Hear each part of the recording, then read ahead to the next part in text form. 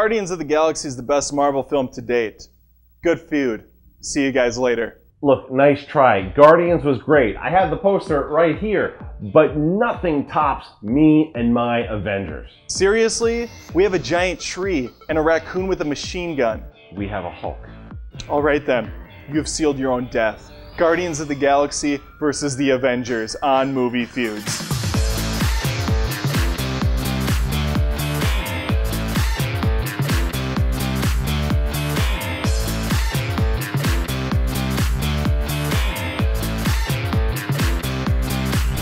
Everyone knows who the Avengers are, but few went into the Guardians of the Galaxy knowing who this ragtag crew was. Where Marvel gave most of the Avengers one, maybe even two films to establish characters, Guardians does all this in one and does a perfect job with a lot of backstory and yet enough mystery to keep us wanting more. Everyone knows the Avengers because those are the characters we want to watch. You can't top Robert Downey Jr. as Iron Man or Chris Hemsworth as Thor casting Ruffalo as the Hulk, genius. We didn't even mention Chris Evans as Captain America, and then you have ScarJo as Black Widow, and Jeremy Renner, Hawkeye. An impressive cast, to say the least, but I can counter them with my band of misfit toys. Vin Diesel plays the Pokemon of the bunch, Groot, as he can only say his name.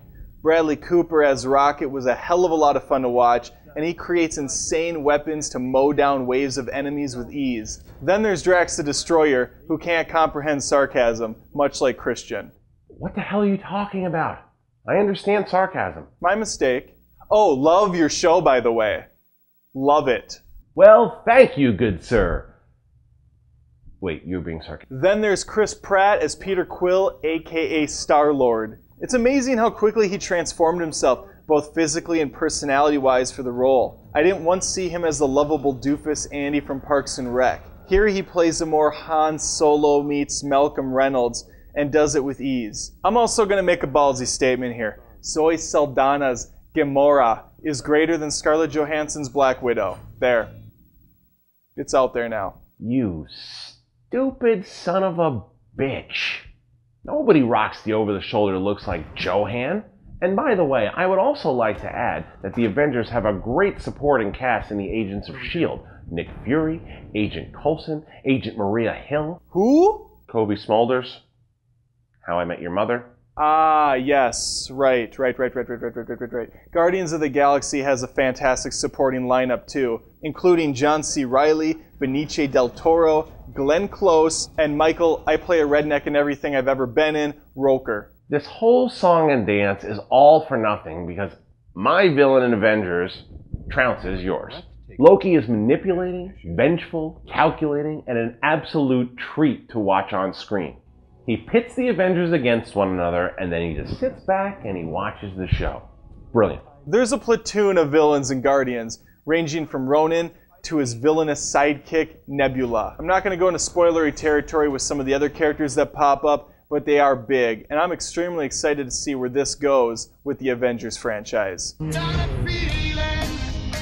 The Avengers was brilliantly set up since day one. We get to see the team form, their struggles to work together, a fun antagonist destroying the city with an entire alien race. I'm actually surprised you're siding with the Avengers over the Guardians of the Galaxy simply because I know you're a huge Star Wars fan. There's a ton of inspiration taken from that film, from the balance of light and dark humor to the Emperor-esque shots via hologram. Then there's the whole gang of unlikely heroes coming together to trounce a much larger threat. Some of it absolutely works, and some of it felt a little forced sometimes. It was almost as if the actors had maybe a little bit too much free reign to ad lib. Avengers is still one of my favorite superhero movies, but I'm more interested in this broken family now. I was also very impressed with the humor in this sci fi action vehicle poking fun at the other superhero cliches. Avengers stays focused, and every line is very well executed and delivered with ease. By the way, saw your impressions of myself and Mark. My God, you are a good impressionist. Really talented.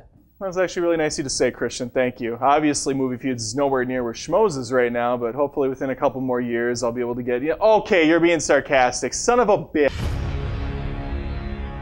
Now, this is where the Avengers pull away with the win. You can't top the long shots of our heroes bashing the living shit out of every Chitauri that comes in their way. Joss Whedon knows what the fans want, and it's variety. There's a full scale battle that makes up the last third of this movie, and there's also very personal battles with Hulk, Thor, Captain America, Black Widow, Iron Man, Hawkeye. I mean, come on! There are explosions in this movie that Michael Bay would want to have sex with, if that was possible.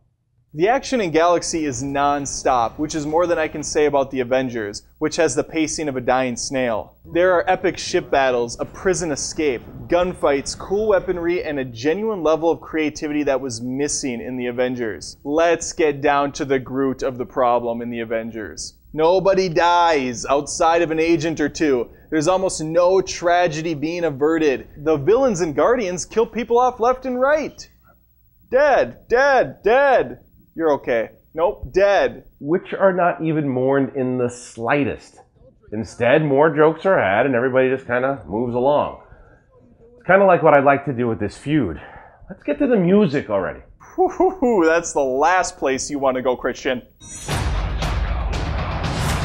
Where to even begin here? The Awesome Mix Volume 2 contains, as stated, awesome songs. Hooked on a Feeling, Ain't No Mountain High Enough, and a nice little Jackson 5 number keep you waiting for the next number to bust out. Then there's the Tyler Bates compositions that work just as well. They work, absolutely, but it's nothing compared to the brilliance that is Alan Silvestri. This is the same man that did Forrest Gump and Back to the Future. Oh, I know. My last feuder was also rambling about this guy, to which I said, Mac and Me.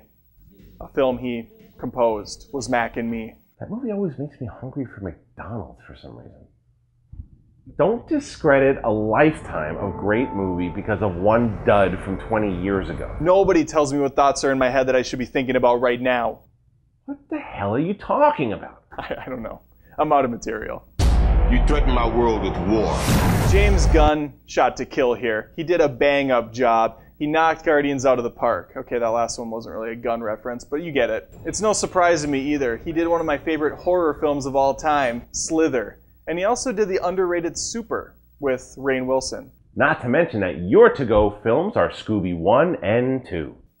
Okay, that's what we're doing now. Hey, you started with the whole Mac and Me bullshit. And now I'm gonna finish it. Watch me shut this thing down, Pitbull style. Guardians of the Galaxy is further progression of the superhero genre. It's not content just being the run of the mill save the earth premise. It's a large scale adventure with a unique cast of likable humans, aliens, experiments, and whatever the hell Groot is. I like Guardians a lot, and it certainly does have Star Wars vibes to it, but Star Wars it is not. The Avengers is the movie that we were patiently waiting for for a long time. Marvel set up the pieces, and then when they delivered, they knocked it out of the galaxy, if you will. Thanks for coming on, Kristian. You schmoes really are class acts. Sarcasm again.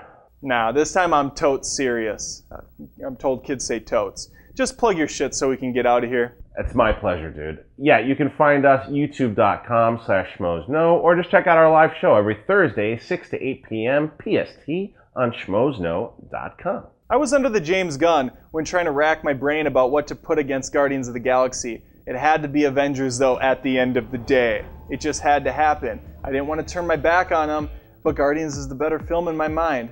Let's hear from you, though. Put a comment below, like, vote, subscribe, do all that garbage. And remember, this is more than just reviews, this is movie feuds. And Kristian, I'm sure you're going to win this round. Ah, now that was sarcasm. Big time.